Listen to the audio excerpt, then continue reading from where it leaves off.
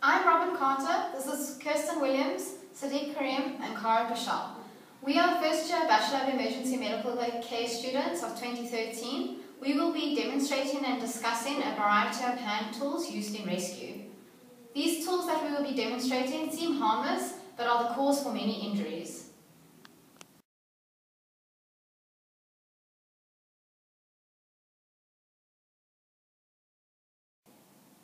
Most important, which is applicable to all rescue situations, is personal protective equipment, commonly referred to as PPE, namely safety helmets, safety boots, safety goggles, a torch, pigskin gloves, a rescue knife, and appropriate clothing depending on the specific rescue situation.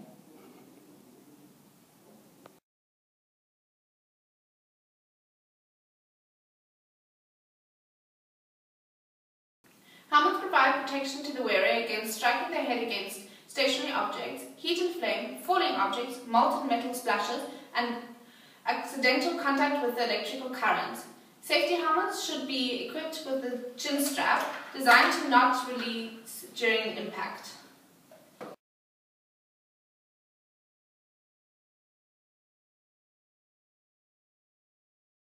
Safety boots will protect against foot injuries from falling objects, rocks and also knocking your feet against objects.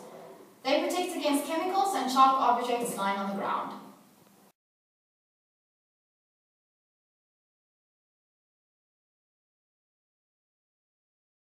Safety goggles provide eye protection for the eyes against unforeseen accidents. The eye protection has to cover the entire eye so that no unforeseen objects can come seep through like sand, water or any other terrain.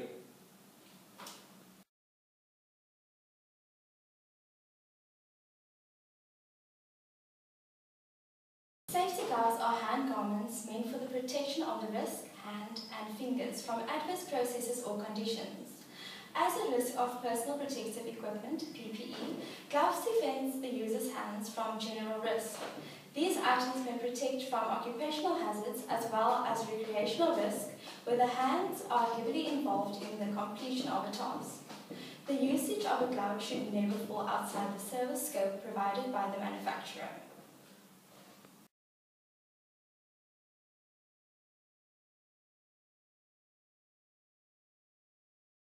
Torches are a vital piece of equipment during a night or low light rescue mission. Without, light, it is impossible to conduct a safe rescue mission.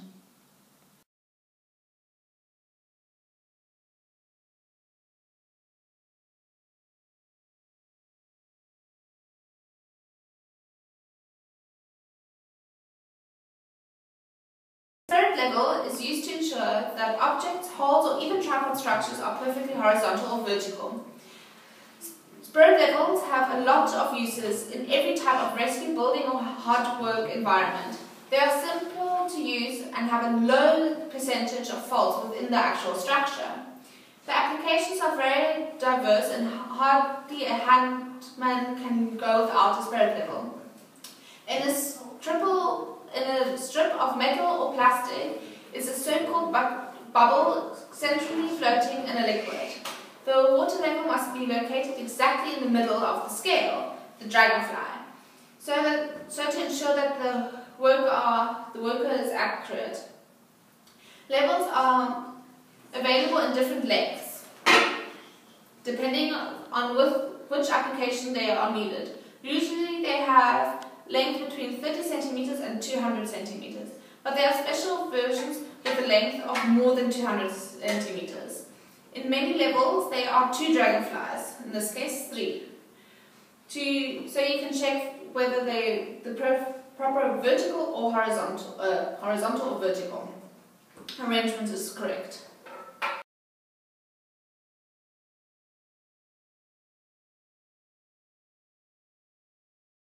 So what we have here is a C spanner. It has a sickle-shaped head with, a, with the top of the head being movable, as you can see. So basically this is used to turn nuts and bolts out of objects. The top part can move down where you can get a firm grip around the object as you can see there. And then once you have a firm grip around the object, basically you just apply force and turn at a 90 degree angle to the object itself. and this will cause the object to be loosened and eventually come out.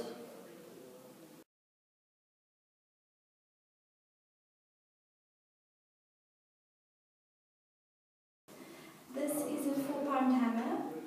It is ideal for applications which require non-sparking conditions. It has a flat surface head that absorbs impact blows, reduces rebound, and helps eliminate marred work surfaces. It has a non-slip cushion grip that provides comfort and safety.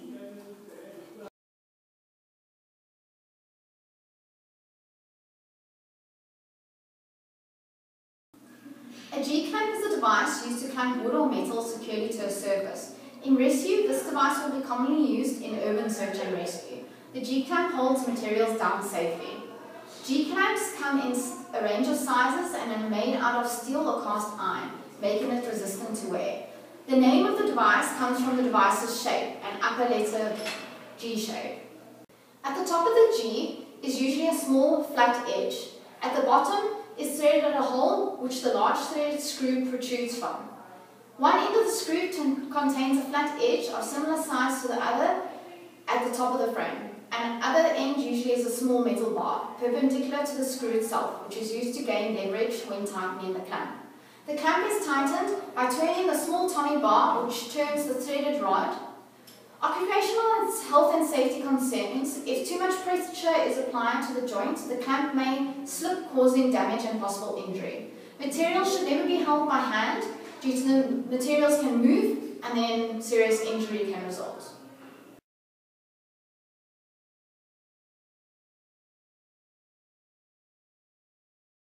The axe is used in various scenarios and environments. It has a very sharp knife at the one end and usually made out of wood and handle. The axe is used in a rescue environment to extract patients from closed rooms or hard to reach places. One can split doors, trees or even thin walls into so one can get to the patient.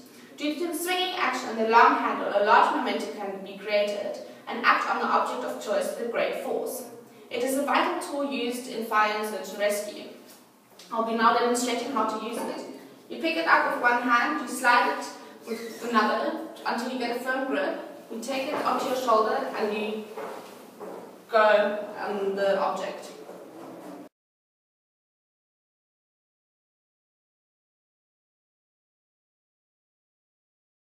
Okay, so what we have here is a flat pry bar. So this is used to take nails out of objects and also to lift rooftops. So this flat part here in front with a wedge in between is placed under the nail, under the nail's head and then pushed up to lift the nail out. This is gained by the slight curvature which causes there to be leverage on the, on the body and with the correct force many things can be lifted. On the other side, we have the larger curvature part, which is used to put wedge under doors. And when paid down onto this, it will cause you to have a greater amount of leverage. The longer the body of the flat pry bar, the greater leverage you have. And when used, when a short one is used correctly, great leverage can also be achieved.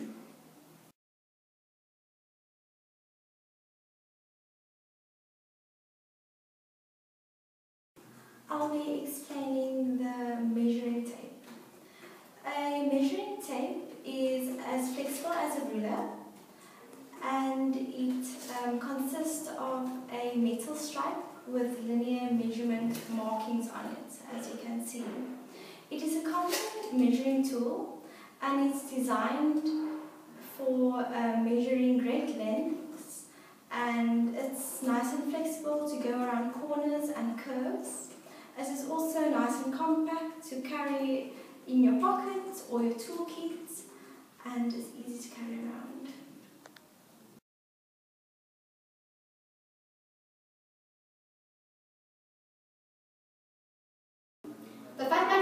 Extreme Fubar Demolition tool is a multifunctional all-in-one tool used in fire and rescue operations. It is made out of high carbon steel for strength and durability. The Fubar demolition tool has unique characteristics. A sledgehammer face with a hard edge for demolition purposes when breaking through walls to check for hot spots, breaking through doors or gaining entry to properties. A pry bar claw and an extricating claw opposite the striking face that has two tiered jaws, which is perfect for popping and prying open doors and car boots. Hoods with vehicle extrication. A chisel blade on the top of the extricating claw helps rescuers enter structure and control any obstacles while evacuating anyone inside. A fire hydrant wrench situated just below the tertiary jaw, jaw for superior leverage. A gas wrench located on the opposite side. A durable rubber grip directly on the bar gives you less slip and more control. A combined spanner wrench below the striking base for controlling hose couplings.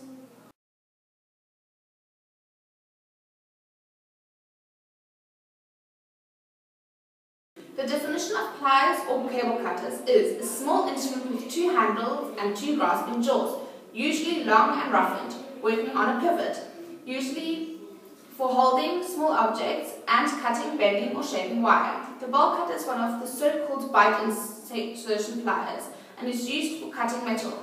Usually these are around wires, bolts, pins and rivets. The bolt cutting have very favorable leverage ratios so that the cutting of the metal part with relatively little effort is possible. Bolt cutters are available as large pliers, but also in the compact version for home use.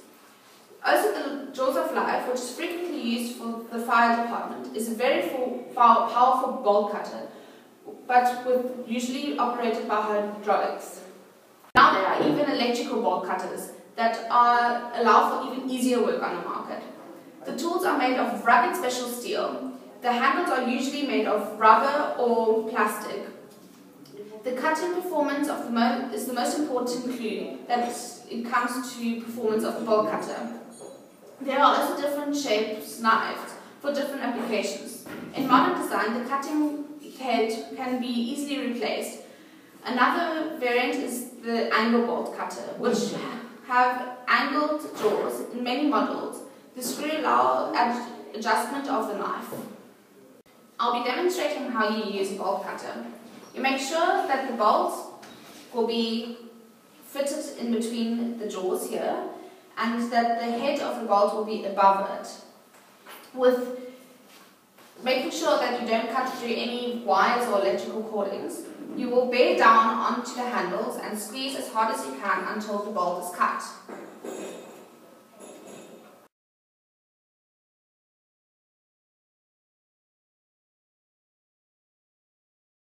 Okay, so a sledgehammer is basically a larger version of a common hammer. It's a metal head with a, a wooden rod in, in, it with a rubber handle at the end. Sledgehammers are used for um, extrication of patients in structural collapse because it can be used at a greater force because of the gravity that applies to it once the weight is bear down into the ground or concrete. Um, there are few rules that, that applies to a sledgehammer. Firstly, you have to have enough clearance around you to use it so that you don't strike anything or anyone by accident. And then, when maintaining a sledgehammer, you have to never leave it outside because it could denature due to environment. So basically when you use a sledgehammer, so you'll start it off the ground and you'll pick it up with one hand and slowly slide it into the second hand until you have a firm grip. And then once you swing it from the back all the way down, you never use your back. So you slide it all the way down to gravity takes its course.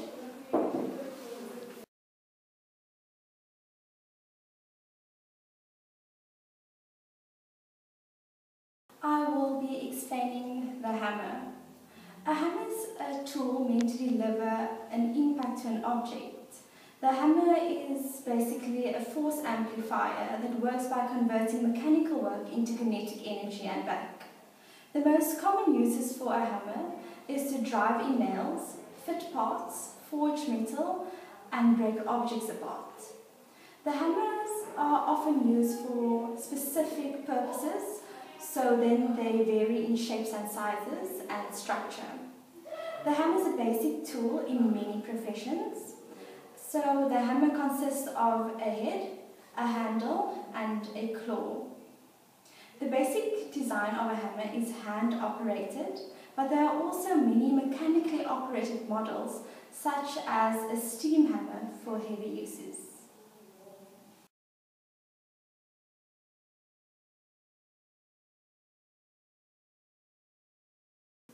Both spades and shovels are made from steel, aluminium, iron or plastic. Most commonly spades and shovels are made from steel because it is one of the toughest metals and is lightweight. The disadvantages of iron, shovels and spades is that they are very heavy. Aluminium shovels and spades are very lightweight, but they may not be strong enough to hold a lot of weight. The handles are usually made from plastic or wood on both shovels and spades. Shovels and spades are often confused with one another due to their similarities. Shovels and spades both have long handles to grip to use to scoop the dirt. Shovels and spades both have a flat top used for pushing with your foot to dig deep into the ground. They both have the same basic blade shape with a rectangular body, scooped center for holding dirt and other materials. The top handles are usually very similar with a common D-shaped handle. Both shovels and spades come in full sizes or smaller sizes. The difference between a shovel and a spade is the scooping tip. The very bottom edge of the spade is completely flat. Another difference between spades and shovels is their uses. This here is a spade. You see this is completely flat, right? This one here is a shovel. You can see the difference. Spades, oh. the difference between a shovel and a spade is the scooping tip. The very bottom edge of the spade is completely flat. Another difference between the spades and shovels is their uses. This here is a spade, right? You can see that this is the flat tip. Here is a shovel. You can see the scoop in it. And then there's a difference, right? Spades are used for moving dirt and other materials from one place to another. They are also used for evening the depth of a garden bed by leveling the soil. The blade can also be used to loosen the soil by pushing the blade flat into the soil. Shovels are used for digging deep into the earth. Shovels can be used to loosen soil. Shovels are also better at moving soil from one place to another because their scoop is deeper than that of a spade. One. Before you start using a shovel, stretch. A good shoveling technique can prevent back injuries. Stand with your feet about hip width apart for balance and keep the shovel close to your body. Bend from the knees and not your back. Tighten your stomach muscles as you lift the spade. Avoid any twisting movements and always throw the dirt in front of you and not over your shoulder. Immediately stop if you experience any shortness of breath, dizziness or chest discomfort. Now I'll be demonstrating how to use a spade. Okay. Get a nice grip on the spade, put it into the ground. For leverage, place your foot onto the spade to dig it deeper into the ground.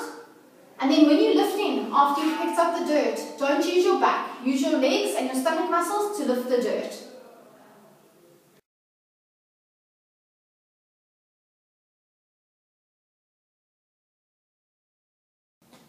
Safety comes first, therefore it has to be the main concern of all the personnel involved in the rescue. As we demonstrated, all the tools have safety measures that have been put in place to protect the personnel. And one of the safety measures is that all personnel have to be trained correctly in using the hand tool.